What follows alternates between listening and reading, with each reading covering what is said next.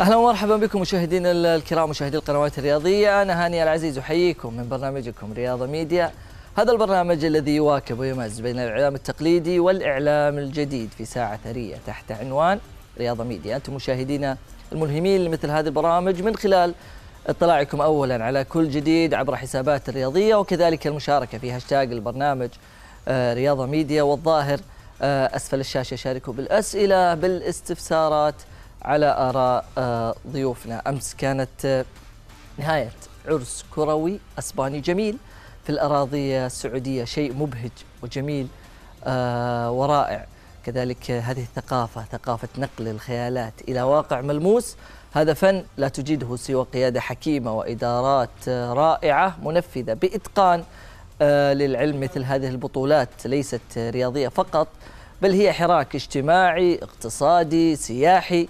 منبثق من رؤية عظيمة يقودها ملهم لكل الشباب السعودي وهو الأمير محمد بن سلمان آه، بن عبد العزيز. فشكرا آه، للقيادة وشكرا للهيئة العامة للرياضة من الأمير الشاب عبد العزيز بن تركي. حتى آخر عامل حرك قطعة لأجل نجاح هذا الكرنفال الرائع. أمس خلينا قبل ما ندخل في تفاصيل حلقتنا نروح دائما لاستفتائنا وأول تفاعلاتكم من خلال استفتاء اليوم. استفتائنا في رياضة ميديا في ظل المستويات المميزة التي يقدمها فريق أبها ورغبة الأهلي للعودة إلى المنافسة على لقب الدوري، ما هي توقعاتك لنتيجة مباراة اليوم؟ ثلاث خيارات عندك. الأول فوز الأهلي، الثاني فوز أبها أو إن المباراة راح تنتهي بالتعادل.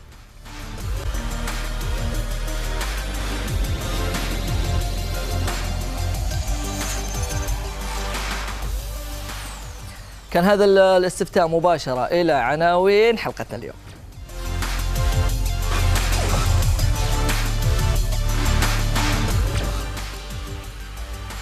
في مباراة ماراثونية السوبر ملكي ونجاح التنظيم بالعلامة الكاملة.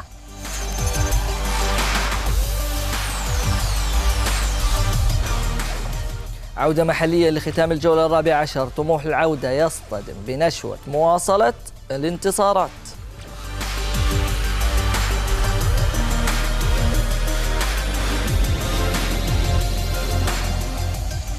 أما عن الحدث العالمي الآخر رالي داكار وبعد وفاة الدراج البرتغالي إلغاء المرحلة الخاصة الثامنة لفئتي الدراجات النارية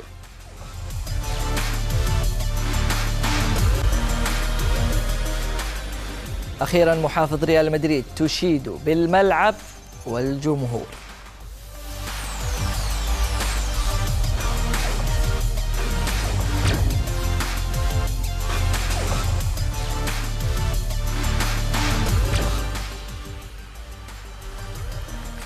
آه كانت هذه عناوين حلقتنا اليوم. خليني أرحب بشركائي اليوم معي الدكتور صالح الحمادي. أهلا الله فيك دكتور صالح. السلام عليكم. مساك الله بالخير. مساك الله بالنور يا دكتور. يعني جاي ما شاء الله مشرفنا اليوم من الرياض أو من أبها إلى الرياض إلى استديوهاتنا في الرياض. والله أنا سعيد بالمشاركة معكم ومع الأخ خالد وشكرا لدعوتكم الكريمة. أيضا معنا خالد البدر الإعلامي والناقد الرياضي. شكرا لك خالد.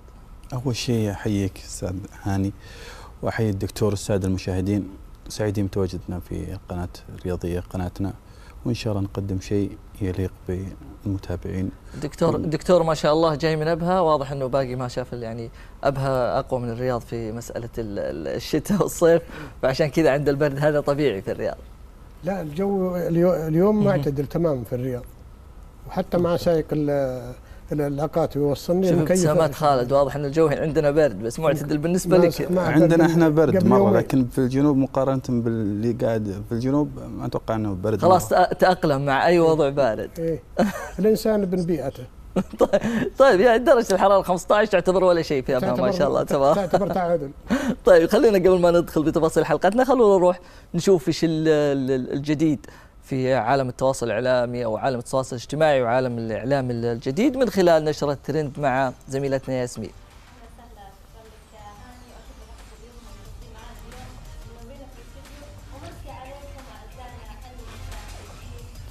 طيب طيب خلينا خلينا نرجع نرجع ل ل خلينا ناخذ خبر دكار فقط كان في مشكلة في في الصوت عند زميلتنا ياسمين وراح نرجع لخبرنا رالي دكار دكتور رالي دكار هذا الحدث العالمي ال- ال- الجميل في الأراضي السعودية يدخل يومه السابع والثامن. فقط بقي آه، آه، ممكن خمس أيام على نهاية هذا الرالي. أحداث آه، جميلة أحداث كبيرة آه، دوران على كل مناطق المملكة. صورة تعبيرية صورة جميلة ت- يرسمها رالي دكار عن جميع المناطق السعودية. الرأي لدكار هو واحد أو أشهر وليس واحد. أشهر سباق في هذه الفئة بالذات. وله عدة سنوات ويتنافس عليه أفضل مصنفين في العالم. أنا أعتبر نقل الحدث إلى المملكة العربية السعودية بعد يعتبر- 30 عام. بعد 30 عام أنا أعتبر أن هذا حدث يعني رائع جدا يوثق تاريخيا للمملكة العربية السعودية. لكن لما تشاهد عام 2019 تجد أن السعودية هي عاصمة الرياضة أو عاصمة الأحداث الرياضية البارزة في العالم. عام 2020 آه، بدأنا الآن بحدثين هامين في. شهر يناير رالي دكار وأتمنى يصير راي للسعودية أو راي للرياض.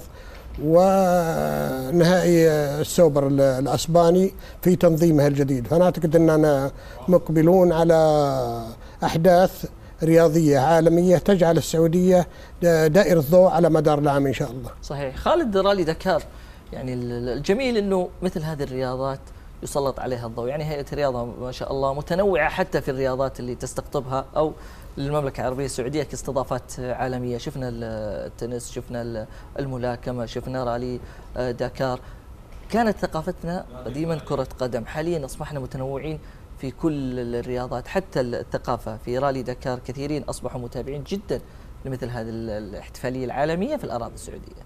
صحيح لأنه زي ما قال الدكتور أنا السعودية الآن أو في السنة السنتين الأخيرة صارت وجهة للرياضات العالمية. يعني حتى زي ما تقول إنه ما عاد اليوم إحنا بس كرة قدم ومتابعين للرياضة بل لما تحضر مثلا المصارعة الملاكمة يعني أنا أذكر الملاكمة اللي كانت في موسم الدرعية شهدت إقبال كبير على التذاكر يعني الناس كانت تتوقع إنه بس هد ما كنا متوقعين ما هذا, حد كان هذا. الجمهور لكل مثل هذه الرياضات. فأنت تشوف اليوم الإقبال يعني واحدة من الأشياء اللي آه، ضمن برنامج جودة الحياة اللي صحيح. واحد من الملفات المهمة 2030 الملف صحيح. الملف الرؤية ال- 2030 إنه الناس أو ممارسة الرياضة وتشجيع الناس على على متابعة مثل هالرياضات اللي اللي فعلا اليوم ما هي بس كرة قدم يعني إحنا ك من يعني وجهتنا دائما هي رياضة كرة القدم سواء. منتخبات أو أندية لكن لما تجي صحيح متعتنا أكثر الشباب أكثر شيء لكن هذا. لما استضفنا آه، الملاكمة المصارعة الفروسية واكتشفنا التنس، المتعة في مثل هذه اكتشفنا. المتعة وبرضه على مستوى الجانب الجماهيري والحضور. وادارتها وتنظيمها اللي اللي شفناه مع هيئه الرياضة يعني طلعت ال- ال- الفعاليات كلها على على أعلى مستوى من التنظيم الإقبال الجماهيري التسويق الشركات وتسابقها على رعاية مثل هالفعاليات أشياء كثيرة مكاسب كثيرة طلعنا فيها. أنه اليوم السعودية والمملكة العربية السعودية وجهة وعاصمة للرياضات العالمية. وهالشيء إحنا شايفينه من من كلام خالد آه، دكتور إنه عندنا جمهور ذواق. عندنا جمهور آه، يعني آه، عامل تسويقي كبير لنجاح أي استضافة. هو كان التحدي. واحدة من ضمن التحديات إنه الإقبال كيف يكون على الحضور. الجماهيري. نجحنا يعني ب- بشكل يفوق التوقعات. صحيح حتى في الملاكمة أذكر إنه ما كان حتى في تذاكر أنا في ذات اوت كل في التذاكر ذات السياق آه، ودي أدخل على نفس الاتجاه اللي تفكر فيه أنت. وفكر فيه خالد، خالد يشير إلى أن آه، هذه الرياضة ساعدت على أن تكون المملكة العربية السعودية وجهة. صحيح. وهي فعلا دائرة ضوء على عام آه، 2019 و2020 لكن الدراسات تشير إلى أن المملكة العربية السعودية سادس وجهة للبحث عن مصادر ال- العمل أو العيش في العالم. هذا هذا شيء مهم جدا. والسعودية ضمن العشرين في القمة الاقتصادية. السعودية الآن بخطوات حثيثة اتجاه في كل المجالات وليست في الرياضة. فأنت كنت تشير أو كان الأخ خالد يشير إلى أنها وجهة. فعلا السعودية وجهة حتى في المجال المعيشي. ولذلك هي سادس دولة في العالم يتجه أغلب من يبحثون عن فرص العمل أو العيش الكريم يتجهون للسعودية إذا كان عندي أكثر من مئة جنسية تعمل في السعودية في مجالات عدة في شركات صحيح. ومؤسسات بحثا عن الرزق وهذا مؤشرات تعطي مؤشرات على درجة الأمن والاستقرار وجودة الحياة الفعلية.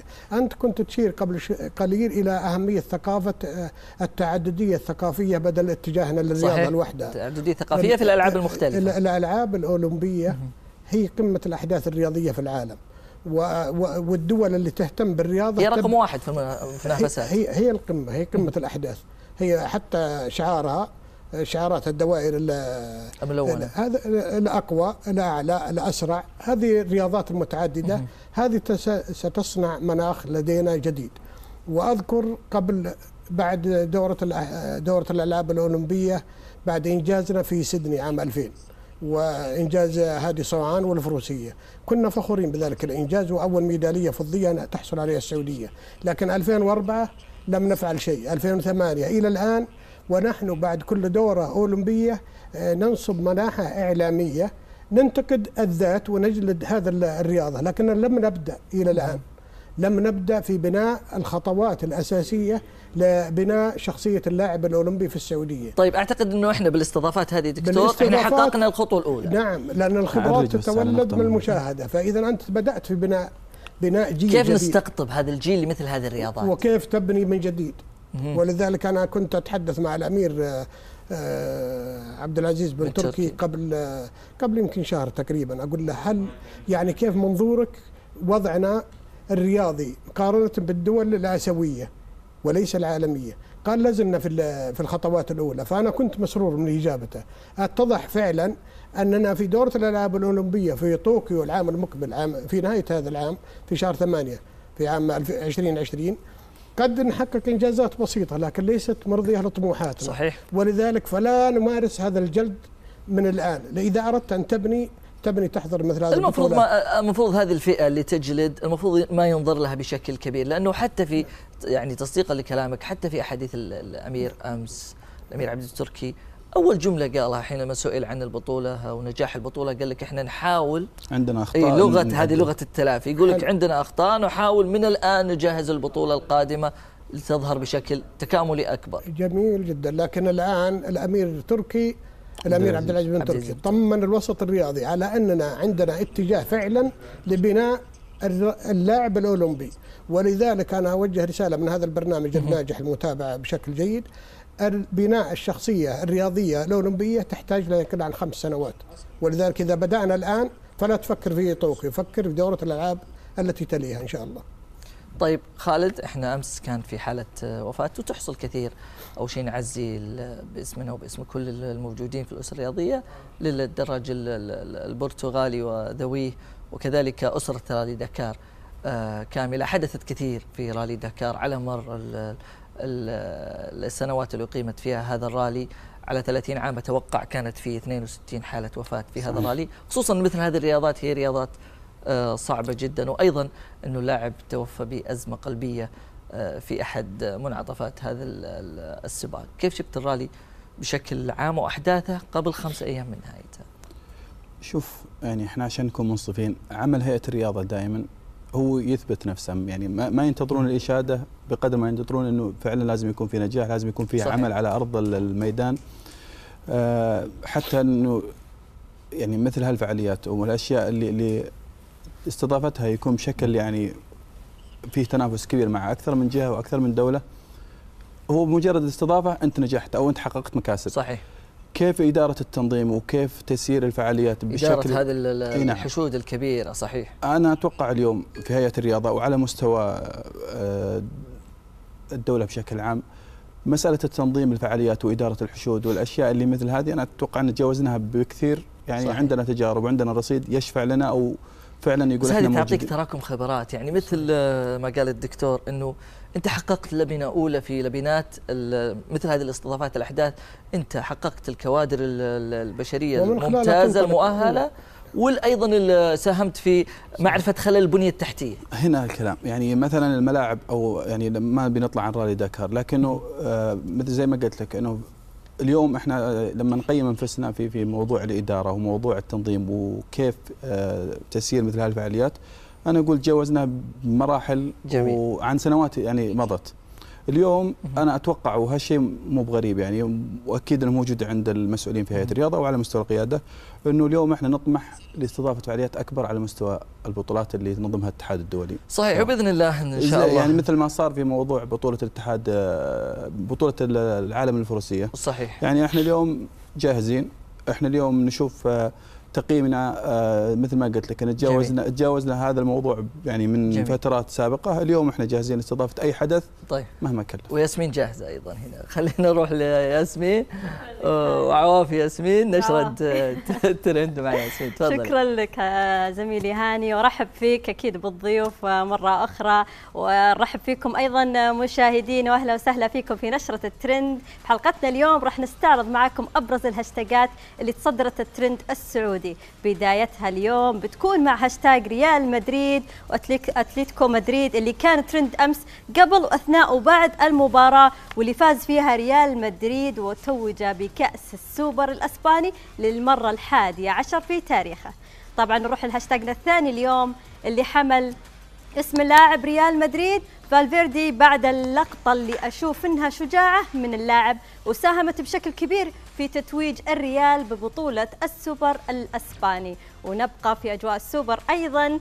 السوبر الأسباني وهاشتاج هلا مدريد اللي تصدر الترند كذلك أمس وعبرت فيه جماهير الملكي عن فرحتها بفوز الفريق بكأس السوبر واللي احتضنته جدة ونبقى أيضا في الأجواء الأوروبية وتحديدا مع هاشتاج روما يوفنتوس اللي كان ترند أمس وتفاعلت فيه الجماهير المحبة للكرة الإيطالية مع أحداث المباراة اللي انتهت بفوز اليوفي بهدفين لهدف. ومن الأجواء الإيطالية نروح لمدرب النصر ريوي فيتوريا واللي تصدر اسمه الترند أمس بعد ما تعرض لإصابة في رأسه وهو مع الفريق في رحلة ترفيهية في الثمامة. والأخبار تقول إنه سليم أموره طيبة. ونقول له أكيد الحمد لله على السلامة. نروح لهاشتاجنا الأخير الأهلي وأبها. قبل مباراة الفريقين اليوم في الدوري واللي كانت فيه أغلب الآراء من الجماهير الأهلاوية. طبعا خلونا نشوف معاكم أبرز التغريدات اللي جات في هاشتاج الأول هاشتاج ريال مدريد وأتلتيكو مدريد.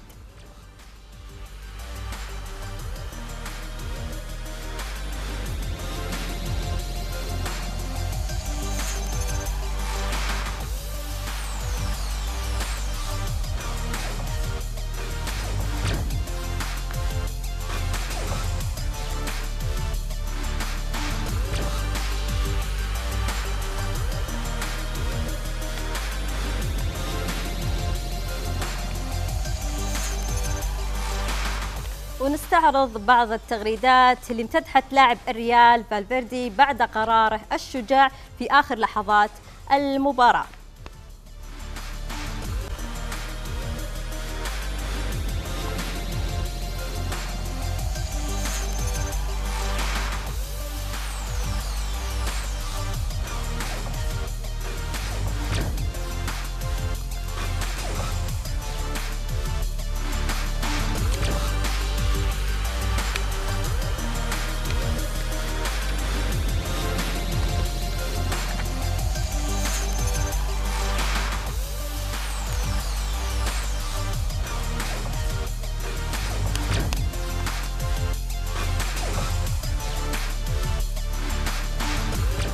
ونبقى مع أجواء السوبر ونشوف بعض التغريدات أيضا من جماهير الريال اللي جات في هاشتاج هلا مدريد.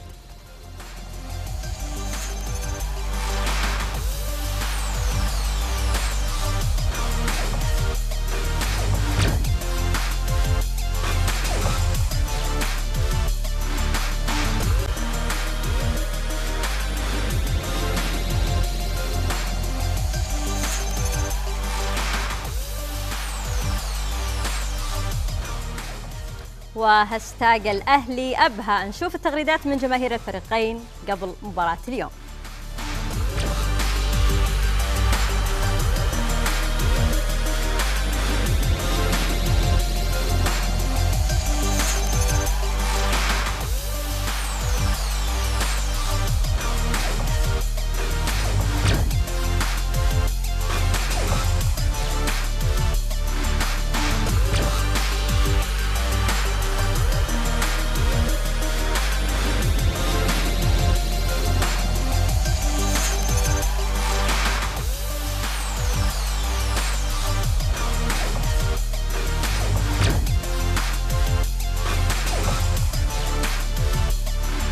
كانت هذه أبرز الهاشتاجات اللي تصدرت الترند السعودي في نشرة اليوم. وطبعا لي عودة بعد نص ساعة في فقرة وش صاير. وعوده لك هاني. الله يعطيك العافية يا سمير. ما شاء الله من المفارقات إنه جماهير ريال مدريد آه، آه، تحتفي بفالفيردي وجماهير برشلونة تشتكي من فالفيردي. شكرا لك يا سمير. خلينا نروح لفاصل قصير وإن شاء الله بعد الفاصل. لنا عوده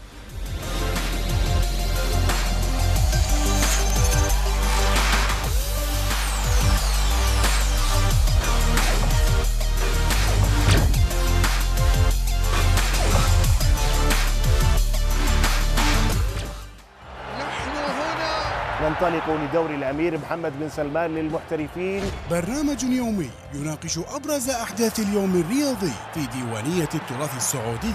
ما في تحقيق أعلن عنه وخرجت نتائج. تبغى الحقيقة تبغى اني اظلل للناس أقول لا والله ممتازين. مع نخبة من الضيوف من الساحة الرياضية السعودية والعربية. الجمهور عنده ولاء.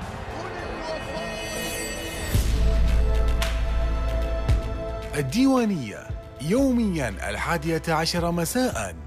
مباشرة على الرياضية. ولما تعيشها لغيرك تصير أعمق بكثير. كل واحد فينا يمر بمراحل صعبة وأخرى جميلة.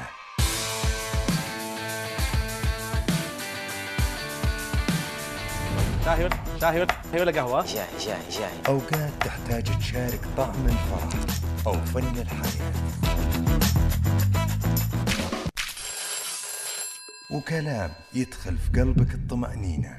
الحياة مسيرة نعيشها نصنعها وتصنعنا. وتكبر وتقوى بنجاح الكل.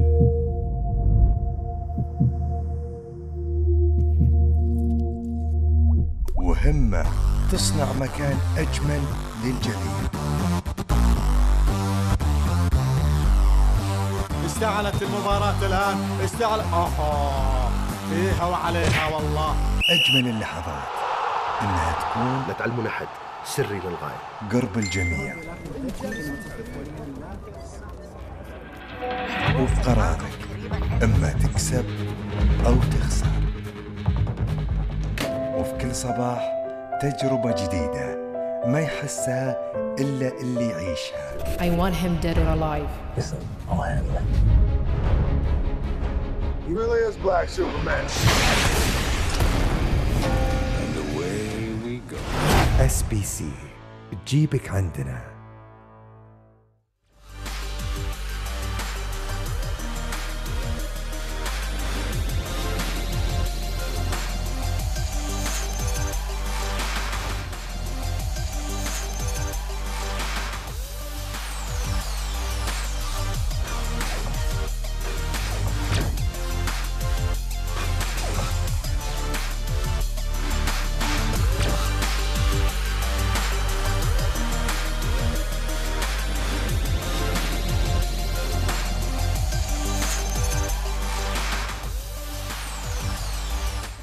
عودة من جديد لكم مشاهدينا الكرام في برنامج رياضة ميديا.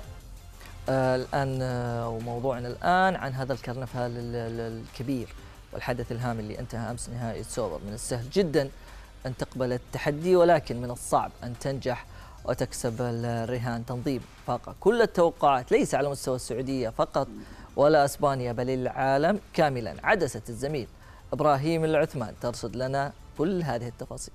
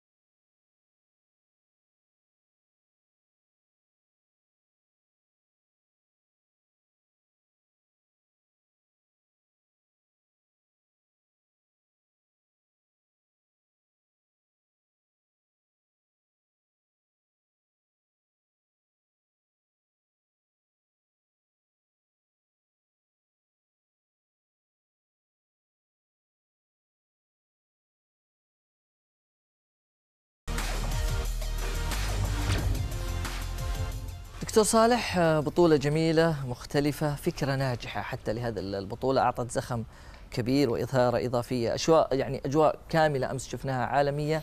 عشناها واقع في مدينة آه، جدة.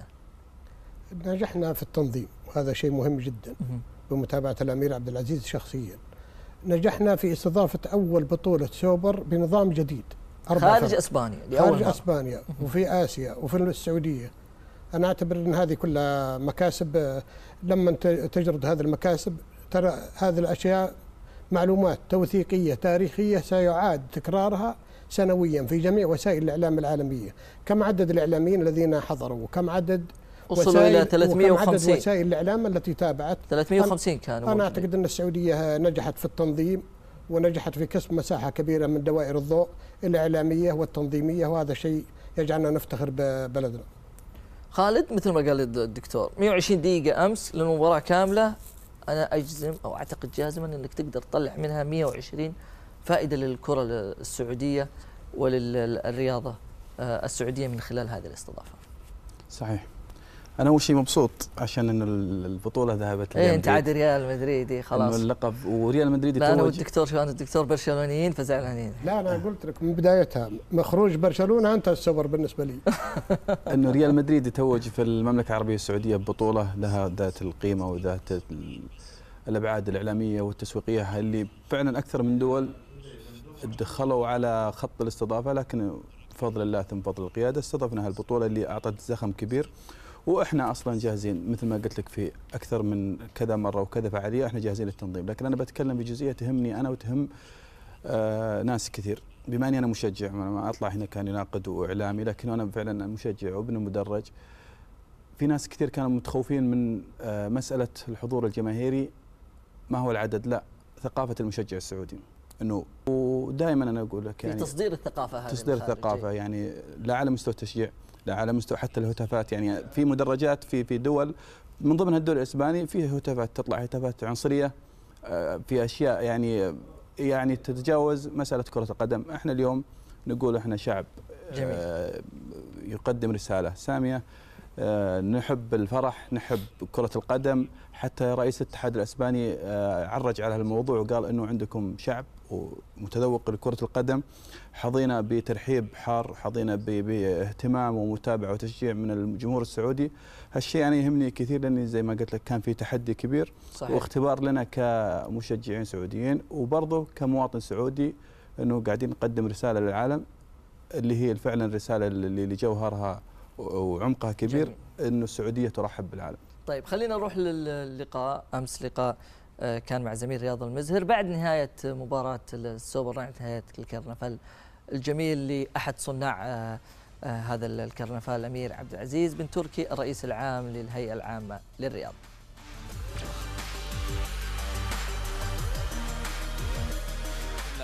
اليوم آه، نحظى بدعم كبير آه، وإن شاء الله أن إحنا نكون قدمنا شيء آه، يوازي هذا الدعم الكبير. آه، اليوم شاهدنا مباراة على أكبر مستوى شاهدنا بطولة تقريبا على أكبر مستوى من أربع فرق آه، من أكبر الفرق في أوروبا. والحمد لله آه، صراحة اللي, ودي أشكره بشكل كبير هو الجمهور. الجمهور اللي يعني أسعدنا وأتحفنا بالتشجيع بالمؤازرة بفعلا نقل آه، الصورة الحقيقية للرياضه آه، الرياضه السعودية. ووعي الوسط الرياضي والمجتمع السعودي عن مكانة هذه البطولات وإن شاء الله نعدهم بمزيد من الفعاليات التي تليق بسمعة المملكة العربية السعودية وطموحها إن شاء الله. دكتور صالح آه، أسبوع كامل آه، في أسبانيا وفي العالم أيضا كل الأحاديث كانت تدور على هذا ال- ال- الكرنفال وهذا العرس الجميل الكروي. كنا في السابق يعني نفرح لاستضافة مباريات ودية بين أندية عالمية الآن أربع أندية من ال- ال- إسبانيا تحضر بكامل طواقمها آه، في جدة للعب بطولة رسمية مسجلة في آه، سجلات الاتحاد ال- الإسباني. مثل هالإستضافة آه، ومثل هالصدى الإعلامي الكبير في العالم يعني كيف ممكن إحنا يحقق لنا في القادم من صدى رياضي للمملكة العربية السعودية. شوف آه، بالنسبة لي أنا كمشوار رياضي طويل جدا وكنت في عضوية الاتحاد الدولي لكرة الطاولة وعضوية الاتحاد العربي. ما شاء الله. اللي أعرف أن رزنامة الاتحادات الدولية كلها في جميع الألعاب من الصعب جدا الدخول عليها والفوز بتنظيم أي بطولة أيا كانت. أنا أعتقد أن آه، المملكة العربية السعودية في عام 2019 و- ومطلع 20 أنها نجحت في جلب بطولات معتمدة دوليا سيكون لها تأثير ولها أهمية وأيضا لها نافذة يطل منها العالم على. منجز المملكة العربية السعودية. أنا أشوف المكاسب صعب نحصرها الآن. وثق تماما. إذا أنت دفعت مبلغ معين من المال سيكون التعويض مقابلها عشر أضعاف بحسابات مالية ذهنية عقلية.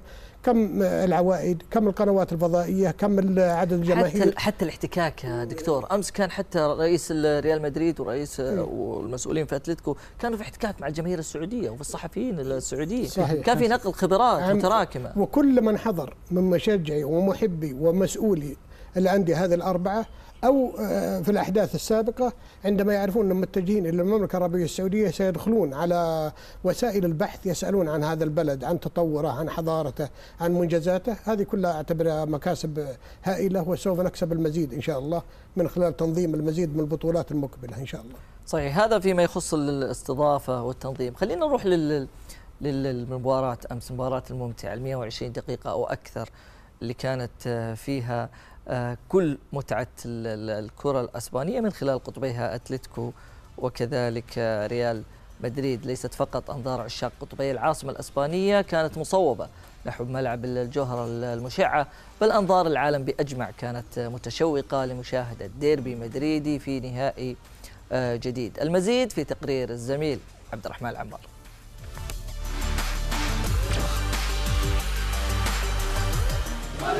ليست فقط أنظار قطبي العاصمة الإسبانية كانت مصوبة نحو ملعب الجوهرة المشعة بل أنظار العالم أجمع كانت متشوقة لمشاهدة ديربي مدريد في نهائي جديد.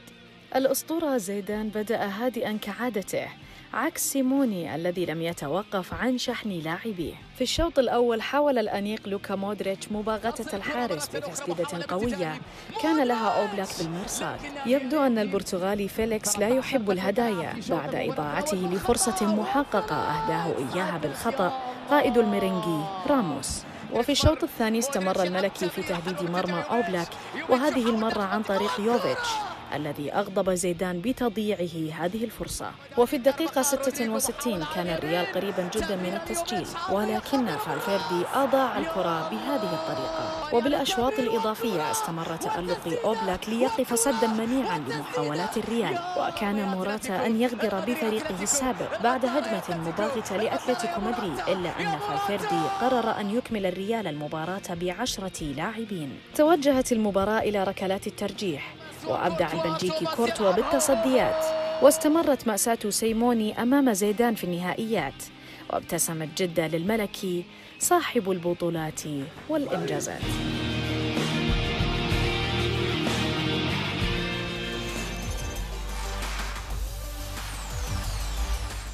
دكتور يعني أنا ما أؤمن كثير بالحظ السيء لكن سيميوني بالذات آه، يعني آه، كثير من المرات يؤكد إنه الحظ السيء ممكن يتكرر مع نفس الشخص. في كل مرة يقدم كل شيء هذا الرجل آه، وفي الختام لا يتوج. والله أنا ودي تسمح لي أكون ضد العبارة تماما. لماذا؟ لأن سيموني آه، هو ذات المدرب. إذا كان غير محظوظ فكيف حصل على بطولة الليغا الأسبانية؟ كيف حصل على بطولة أوروبا؟ بس كيف أكثر حصل- النهائيات يخسرها. وصل للنهائيات وكسبها ووصل للنهائيات وخسرها ولو يتوقفون عند عبارة سوء الحظ لا الفلسفة الرياضية تقول الفريق الجيد يصنع حظوظه. فريق ريال مدريد هو الأجود على الأقل لما تعمل معايير دراسة لكل لاعب في خانته. مقارنة باتريكو تجد أن ريال مدريد عنده عناصر تعطيه تميز قليلا. وحتى في أسوأ الحالات الفريق الجيد يصنع حظوظه وهذا اللي حصل لريال مدريد. ريال مدريد مع زيدان حقق تسع بطولات منها ثلاثة أوروبية بطولة أوروبا. هذه ما لم تأتي ب وبطولة الكاس حققها 11 مرة البارح الحادي عشر وبرشلونة يتصدر ب 13 لقب لكن آه، أنا كويس ودي إنك ذكرت ودي. نحذف عبارة آه، منحوس أو غير محظوظ في قاموسنا. لماذا؟ لأن الأيام والرياضة وجميع المنافسات. بس إنه جزء جزء من. جزء من الحياة. لكن طيب. الأيام مداولة في الخلاص. واضح إنكم اثنين يا دكتور مدريديين بديت تطلع ميولك لا، المدريدية. كمستوى فني يعني ما يقارن يعني فريق زيدان بفريق سيموني. يعني سيموني من مباراته حتى مع برشلونة أنا أقول لك نعم ساهم الحظ والأخطاء ال- ال- أو مش الأخطاء ال- الأهداف الملغية اللي فعلا لغاها بس المباراه كأنها أمس كانت بصراحه خالد. متجهة إلى برشلونة مباراة أتلتيكو. فأنا مؤمن بأنه مقولة فعلا الحظ الحظ لا يعني مع أتلتيكو أنقذها من برشلونة لكنه اصطدم بالريال والريال اصطدم يعني بالريال، نعم، شوف الريال- كيف. الريال آه، متمرس على مثل هالنيات طيب أمس. أمس آه، يعني لو والله ثم لقطة فالفيردي في الأخير الذكية وإحنا كنا نتكلم. تحت الهواء إنه قلت تقول لي إنه موراتا منحوس في مثل هذا ال- نعم أنا أقول لك كمستوى فني أمس يعني كانت المباراة 50 50 لكن كخطورة على مستوى المرمى كان أتلتيكو أقرب في أكثر من فرصة. لكن أنا أرجع أقول لك إنه مثل الأندية الكبيرة ريال مدريد متمرس في النهايات كيف يصل للمرمى ومتى يخ... متى يتخذ القرار المناسب لإنهاء آه، مثل هالمباريات. اتجهت المباراة إلى ركلات الترجيح. هنا عامل الحظ فعلا. دخل في في في آه، تحويل مسار المباراة. لريال مدريد. طبعا أنا دائما مؤمن ما كان البطولات تروح لزيدان طواعيه كأنه هذا الرجل لا لا أنا مؤمن البطولات مؤمن بشغلة. دائما الكرة إذا أو المباراة إذا اتجهت إلى ركلات الترجيح أنا أشوف الفريقين فايزين. يعني لما تو- توصل المباراة خلاص إلى مفترق آه، مفترق طرق آه، اللي هي ركلات الجزاء أنا أشوف إن الفريقين وصلوا صحيح كلامه ولذلك تسمى ضربات الحظ. ضربات الحظ. الترجيحية يعني ليست اتفق معنا لا بس حتى. حتى أذكر إنه في ريال مدريد وأتلتيكو في نهائي الشامبيونز كانوا جميع لعيبة ريال مدريد متفقين على زاوية معينة. يعني كان فيها تكتيك فيها تنفيذ. في حتى بالك أمس راح لنفس الزاوية. اللي من حوالي لما أقول لك. ريال مدريد متمرس على مثل الاشياء في تفاصيل صغيرة. يمكن تخفى على الجانب الآخر اللي هو خبرة النهائيات آه، ذكاء المدرب أحيانا في أشياء أو أحداث بسيطة أو تفاصيل بسيطة إنه تركز عليها مثلا إنه نكتشف خانة الضعف وين هي فيه عند الفريق المقابل الحارس كيف تعامله مع الكرات المرتدة أو تصدياته لل- للركلات الحرة هذه أشياء أنا ممكن فعلا تعطي فارق لكنه لا تبني عليها الشيء اللي ممكن يحقق لك اللقب. تعتقد إنه أمس ريال مدريد آه، إنه حقق البطولة؟ يعني كان لو حققها أتلتيكو مدريد كان ممكن يعني نقول إنه كان الاحق فيها ريال مدريد؟ أو إنه كان آه، أتلتيكو مدريد حتى في الأشواط الإضافية كان هو المستحوذ هو القريب جدا من هذه البطولة. شوف الأندية الثلاثة اللي هي برشلونة وأتلتيكو وريال مدريد أي فريق قادر إنه يتوج بالبطولة؟ كانوا كلهم جاهزين على المستوى الفني والبدني.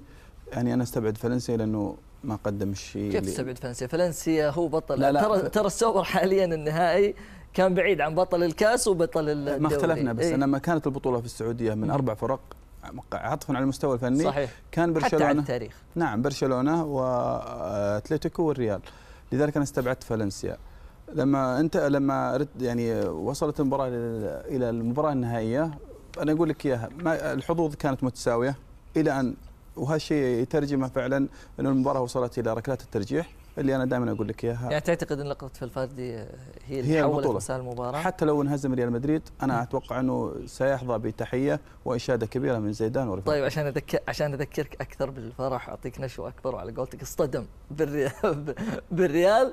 بنشوف آه، لقطة فالفيردي كاملة اللي حولت مسار آه، السوبر قبل ال ال الآن. فاصل قصير وبعد الفاصل بإذن الله نعود.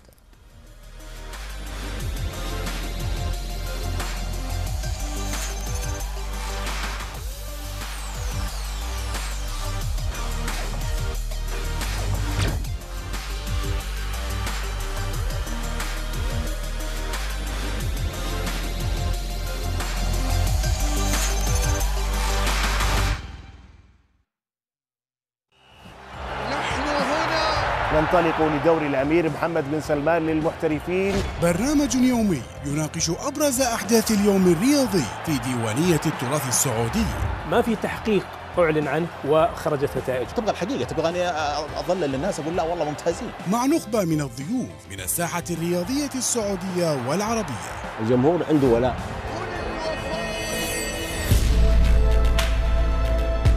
الديوانية يوميا الحادية عشر مساء مباشرة على الرياضية. ولما تعيشها لغيرك تصير أعمق بكثير. كل واحد فينا يمر بمراحل صعبة وأخرى جميلة.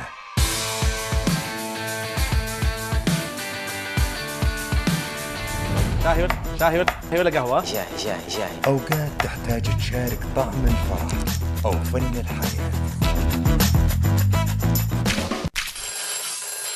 وكلام يدخل في قلبك الطمأنينة. الحياة مسيرة نعيشها نصنعها وتصنعنا. وتكبر وتقوى بنجاح الكل.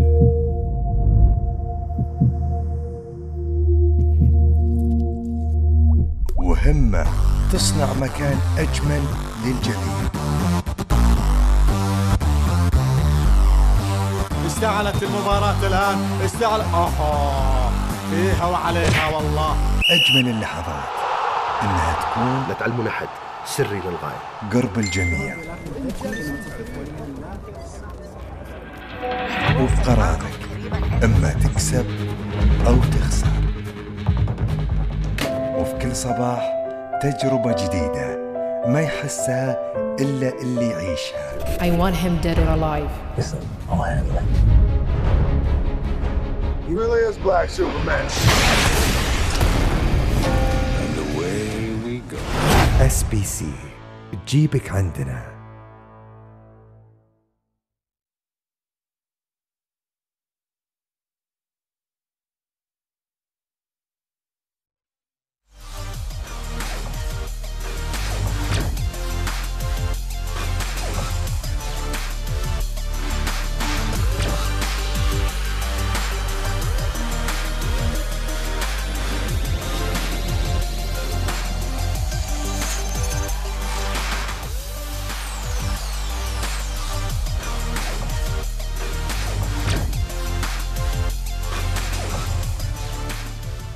عودة من جديد لكم مشاهدينا الكرام في برنامج رياضة ميديا. قبل الفاصل كنا نتكلم عن ال- الحدث العالمي والكرنفال كأس السوبر الإسباني. خلينا نروح لدورينا ودوري الأمير آه، محمد بن سلمان من آخر مباراة في الجولة الرابعة عشر. لكن قبل ما ندخل في تفاصيل آه، هذه المباراة خلينا نروح لزميلتنا ياسمير مرة أخرى في وش صاير. شكرا هاني. نبدأ فقرتنا اليوم في وش صاير بأجواء السوبر الأسباني واللحظات الأخيرة من أرض الملعب؟ لحظة تنفيذ راموس ركلة الجزاء الأخيرة وفرحة اللاعبين بعدها. نتابع. ونبقى مع بطل السوبر ريال مدريد وفرحة اللاعبين في غرفة الملابس واللي واضح إنهم متعودين على الذهب. حضور أمس في نهائي السوبر محافظ مدينة مدريد الأسبانية السيدة إيزابيل دياز واللي أشادت بالحضور والتنظيم وأجواء النهائي، خلونا نشوف إيش قالت.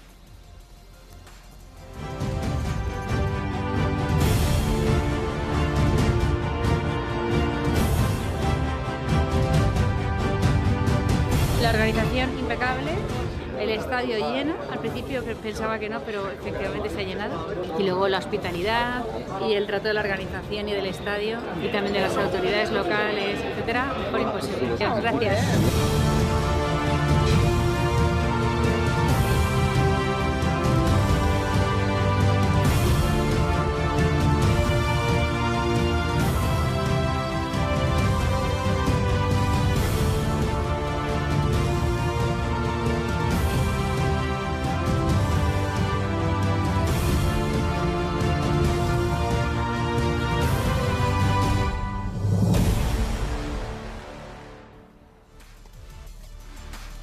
زميلنا الإعلامي سلطان المهوس وثق لنا من مقصورة المباراة ردة فعل رئيس نادي ريال مدريد بيريز. لحظة تنفيذ راموس لركلة الجزاء الأخيرة واللي أعلن فيها الريال بطلا لكأس السوبر الأسباني.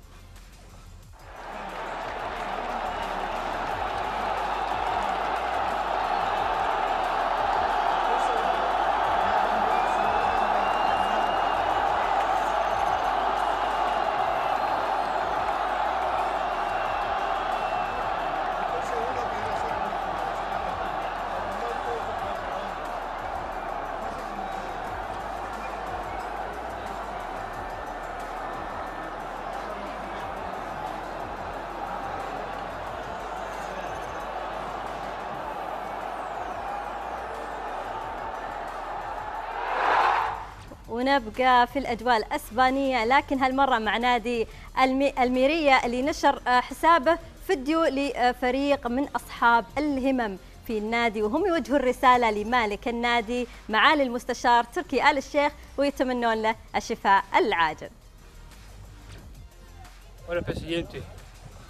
El padre del equipo Geroine, te deseamos una pronta recuperación. Podrás con todo. Eh, Turki. ¡Ánimo, Turki! ¡Vamos, ya, Turki! ¡Estamos contigo! ونختم مع هالمقطع الطريف اللي بصراحة ما أدري في أمدح الحارس ولا أنتقده ولا أنتقد المهاجم الوضع حوسة في حوسة خلونا نشوف اللقطة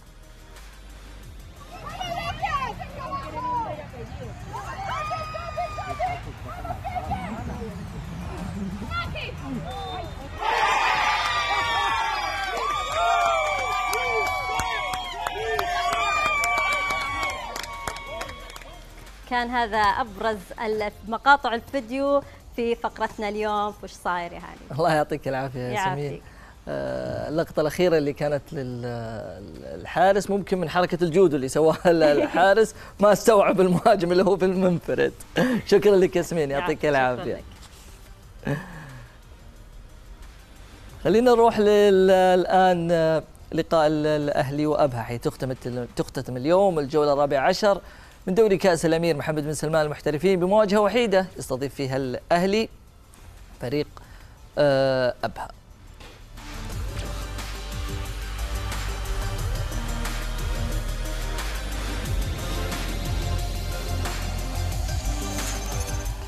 دكتور خليني يعني المواجهة هي آخر مواجهة من الجولة الرابعة عشر. خليني آخذ كل فريق على حدة. خليني أبدأ معك من أبها. أبها مقدم مستويات آه، جميلة في الآونة الأخيرة يعني حتى ال- ال- النتائج كانت مرضية لكل أهالي وجمهور الجنوب بصفة عامة وكذلك جمهور أبها بصفة خاصة. شوف آه، نادي أبها يعتبر نموذج.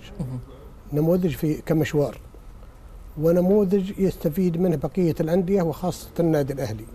ال- نادي أبها خاصة النادي الأهلي يستفيد منها؟ النادي الأب... نادي الأهلي عشان أبغى أوصل لك على نقطة مهمة جدا. نادي أبها العام الماضي عندما صعد الفريق أي. حافظوا على وحدة الفريق حافظوا على الجهاز تماسك الفريق. الفني حافظوا على لاعبين استمرت مجلس الإدارة استمر نفس نفس التخطيط ونفس التنظيم فالآن شوفهم في الرصيد النقطي متساوي مع الأهلي بس إدارة بينما إدارة الأهلي- فريق زي أبها صعب مو زي ما تقارنها في إدارة فريق بينما زي الأهلي الأهلي وعلى مدى يمكن يعني المقارنة 15 عندك خاطئة يا دكتور. إذا- إذا سمحت لي خالد لا لأنه تقول إنه أنا- نموذج لا، هذا رأيه، لا يقول لك نموذج المقارنة أتكلم من ناحية عاطفة أنا أتكلم مو من ناحية عاطفة. علمية. لا معلش أنت من تبي تكون منطقي. إنه نموذج إنه إدارة زي إدارة أبغاء. للأهلي لو سمحت يا خالد. يعني أنا لما أدير خالد، فريق زي إذا أبها جاء وقت ما أكون زي فريق زي شوف، الفريق مثل الأهلي. أنا أتحدث عن لا في شيء منطق. لا، أنا ما يهمني أنا الأهلي ولا يهمني أبها أنا يهمني المنطق في الموضوع. أنا أتكلم كدارس. وهو يتكلم فريق صاعد من كمتعاطف. الدرجة الأولى لا هو يتكلم كناقد في البرنامج يقول لك يعني يعطي رأيه في هذا الموضوع بتتضح في الأخير طيب تتجه تفضل معي. تتجه معي كلامي صح أو كلامه هو الأصح تفضل. أنا أتكلم لك أتكلم هذا لك هذا الجمهور اللي يحدد دكتور لك عن الجمهور وحدة- يحدد أي كلامكم عن صح. وحدة أو تروس المنظومة ككل في. جميع الأندية سواء السعودية أو غيرها لماذا أتلتيكو ينافس ريال مدريد وبرشلونة لأنه حافظ على وحدة وتروس المنظومة ككل سيموني معهم من إيه بس ما صعد. هذا اللي هذا اللي أتوقع نرفزه إنه توقع. لا أتوقع اي أتوقع لك انه خل نجاح له عشان عشان مدريد. أنا أقول لك مثلا نادي النصر الآن هو أفضل الفرق محليا فنيا من خلال من خلال احتفاظه ب- ب- بتروس المنظومة ككل مدربهم من العام الماضي نفس المجموعة أغلبهم من نفس العام الماضي وبالتالي سيكون هو المنافس الحقيقي للهلال هذه السنة. قصدك إنه أنا بس ب- ب- بجي الخلاصة. قصدك إنه المفروض الأهلي يتعلم من أبها. هذا هذا هذا ال- ثقافة. الاهلي هذا قصده. الاهلي الأهلي خلني أجي لك على مشوار الأهلي عشان أثبت له. أحضر مدرب اسمه نوبوتشا بنى لهم فريق تروس الفريق بالسرعة واللياقة والتقارب السني وحقق بطولة. لو فريق آخر كان حافظ على نفس المنظومة. رجعوا عملوا تفكيك لوحده ال- وتروس الفريق. رجعوا في مرحلة بناء أخرى. عندما رجعوا في بناء متكامل بعد سنوات حققوا بطولة الدوري. بعد ما حقق بطولة الدوري حصل التفكك لت... لتوليفة الفريق لتروس الفريق. ترى نادي الاتحاد أكثر نادي تضرر من وحدة الفريق أو تروس الفريق. أكثر من يفككه هو إعلامه. إعلام الاتحادي هو اللي يفكك يستمر في مهاجمته على مثل الجهاز الفني حتى ينتصر لرأيه حتى يغادر. مغادرته تخسرك مبالغ وتجيب لك مدرب جديد بمبالغ. لكنها تفكك تروس الفريق لأن كل مدرب يجيك بعناصر أخرى وفريق آخر. يعني أبها حتى هو يعلم الاتحاد حتى هو نادي, نادي ثقافة الاتحاد. نادي أبها كمثال حافظوا على وحدتهم وعلى تروس الفريق. أنا أكلمك من ناحية علمية. إذا أردت أن تنافس فيجب أن تحافظ تحسن اختيار الجهاز الفني وتحسن العناصر طيب اللي جميل. يحتاجها لتنفيذها. ثم تبدأ تحافظ على الجهاز الإداري الجهاز الفني اللاعبين. مع أول سنة قد تجي نص نص السنة اللي بعدها تنافس. اللي الثالثة لازم تجي بطولات أو تكون قريب منها. نادي أنديتنا في السعودية تعاني من تفكيك تروسها وإمكانياتها وقدراتها. يعني الخلاصة إنه نادي أبها كان نموذج في إنه حافظ على وحده الفريق كاملة من إدارة ومن لاعبين ومن حافظ. فايش اللي حصل شفت نقاطه رصيدة النقطي مثل الأهلي. كم الفوارق الفنية والمادية والجماهيرية والإعلامية؟ طيب جميل. ورغم هذا الدكتور يرد على نفسه بنفسه. طيب أنا أحترم رأيك وأنا ما يهمني أهلي وابها أنا أتكلم هنا بشيء وشيء الرأي اللي يمثلني أنا واللي أنا أشوفه إنه مو بشرط يكون صحيح لكنه يمثلني أنا إنه كلنا نستفيد ونتعلم. أنا لما أجي مثلا فريق زي أبها يعني له كل الاحترام إدارة وجماهير ولاعبين إدارته سهلة مقارنة بفريق زي الأهلي يعني كإدارة كإدارة, كإدارة يعني لما تتكلم مع في هنا ترسانة نجوم هذا عنده عقود هذا عنده مشاكل هذا عنده رواتب. في بعض الجم... في بعض النجوم في الأندية الكبيرة لهم جماهيرية تعامل جماهيرية خاص وتعامل خاص واحتواء وطريقة ممكن أشياء بسيطة ما تخليك تقدر يعني مقارنة الدكتور تعتقد لا, لا, لا لما تقولي نموذج لا الدكتور الدكتور احمد الحديثي أكاديمي وكان لاعب وكان إداري وكان ولذلك خبراته هائله جدا. سخر خبراته إحنا ما نتكلم عن أشخاص نتكلم عن إدارة. جميع مجلس الإدارة معه أصحاب خبرات عريضة جدا. هذه الوحدة اللي تكونت متى تتراهن على الموضوع؟ إذا, جيد. اذا استمر أبها فريق إذا استمر إداري أبها. جيد ومجموعة لاعبين وجهاز فني جيد. إيش اللي حصل؟ إن نتائجك جيدة. طيب الفرق الكبيره أنا بتكلم عشان أوصل بس. بيجيك أحد يعني أنا بس عشان آخر يا خالد بيقول لك إنه إدارة الأهلي هي اللي أسهل لأنه المال موجود النجوم موجودة. أنت فقط تدير مثل هذه الأدوات منظومة الكامله الكامله عندك. وفريق داخل النادي ممكن تقول سهل الموضوع لأنه أنا أتعامل مع إدارة لكن أنت تتعرض لضغوط جماهيرية. عندك منافسين. أنت الإعلام والتوجيهات كلها بشكل مباشر عليك. أنت كمنافس يعني مباراة تخسرها مو شرط هزيمة بعد. شوف أنا ضيع لا دكتور أنا بتكلم. أتمنى. كل ما أتكلم تقاطعني لو سمحت. فضل. أنه في كل فترة لما تخسر مثلا نقاط بالتعادل يعني مثلا مباراة الاتحاد والنصر أمس النصراويين مستائين على تعادل. الاتحاديين برضو ما كان لهم طموح إنه مثلا أنا بطلع فريق مثل النصر اراه مكسب. الأشياء ذي اللي أنت تشوفها صعبة عند أندية جماهيرية مثل الأهلي الهلال الاتحاد النصر. التعامل لما تقول على مستوى الإدارة داخل النادي أنا ممكن أنا وياك متفقين كلعيبه وكإدارة وككادر وكمنظومة لكنه الأشياء المحيطة بالنادي من خارج الكيان. الضغوطات الجماهيرية المشاكل الإدارية. لما تقول لي فريق زي أبها ابغاه نموذج للأهلي يعني وين المنطق في الموضوع؟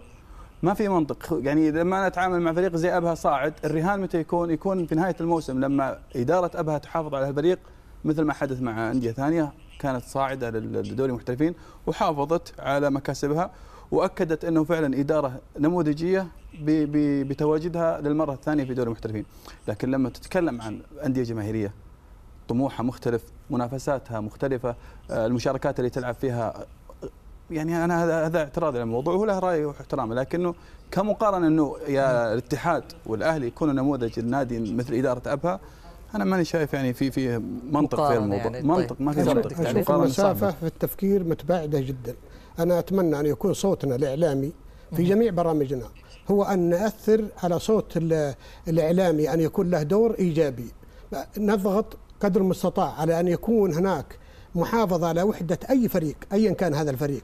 وعلى جهازه الفني إيه بس هو كان اختلافه في مسألة المقارنة فقط لا لا هم أنا أضرب له مثال كمقارنة ان محافظه على مجموعتهم في الدرجة الثانية ثم الدرجة الأولى ثم الآن في الدوري لو فريق آخر قالوا لا نبغى مدرب آه، آه، أكثر. يعني أكثر قيمة في الدوري.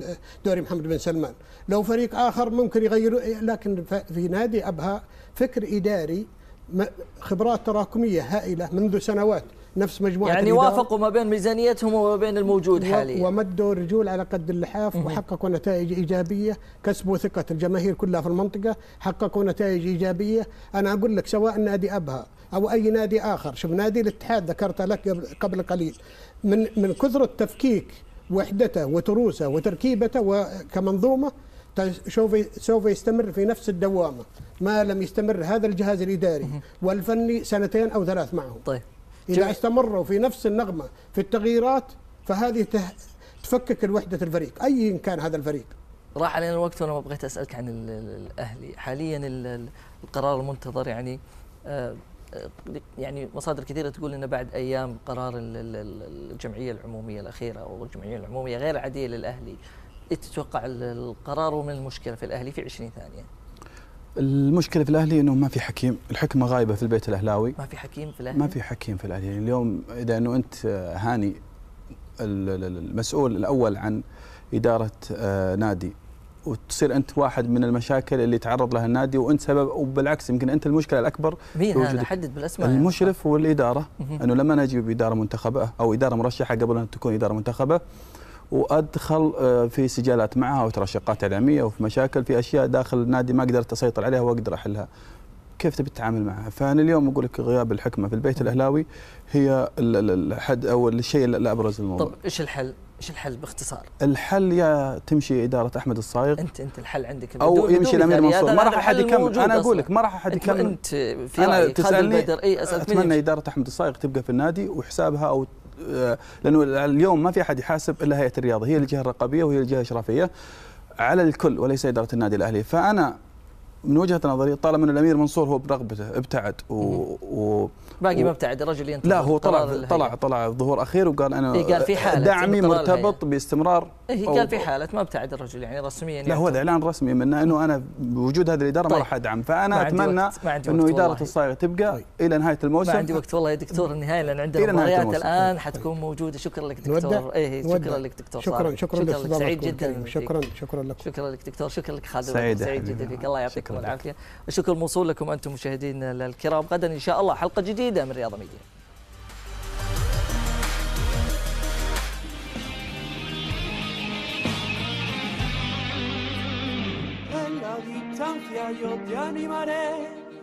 Sangre blanca llevo en mi ser y tu estadio coreará. Vamos real hasta el final. es amor, valentía y pasión, el sentir de este escudo, A la voz de nuestra afición, a la Madrid, vamos campeón. De Roma.